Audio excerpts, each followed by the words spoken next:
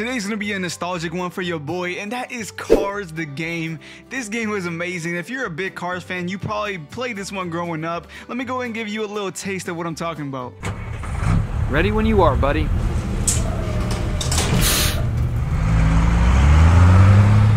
Cross Country Mack has got your back.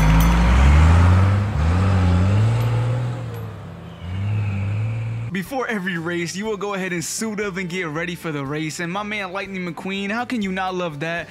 Growing up, like I said, a big Cars fan, there's nothing to dislike about this game. The soundtrack was great. The, all the characters from the movies were great. The voice actors were all there. This was just top tier Disney Pixar video games. Let me know in the comments if you played this one growing up. And man, they need to make games like this today.